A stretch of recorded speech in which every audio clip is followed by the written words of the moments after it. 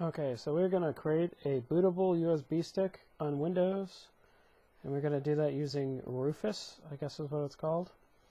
Uh, you download it here. There's a link to download it. Uh, latest uh, updated. There we go. Rufus 11, alright, or whatever. 2.11, sorry. Um, I downloaded Ubuntu uh, on this website. I went with the 32-bit. We're now going to follow these instructions. And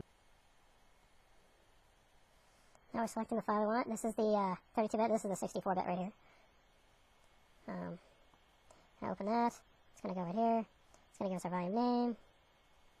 I'm going to click Start. I'm going to click OK. I'm going to click OK again. And it's going to start moving all the files right on over.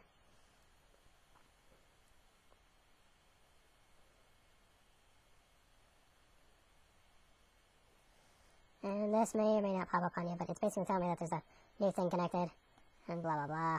You don't really have to install this, you just run it, it doesn't actually install, so you're worried about installing a program, it doesn't install, it's just a file.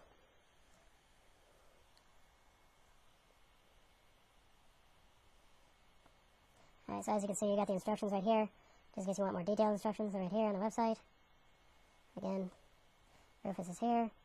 There's a link that takes you right to this on this website. It's right up here, download the Rufus USB installer, download Ubuntu, verify the download. I didn't verify the download, and I probably got I got it in an alternative download place. This is the address I was at um, because would, I don't know why I had trouble finding the 32-bit version. I don't know, but uh, I know I needed the 32-bit one, so wonder how this is doing.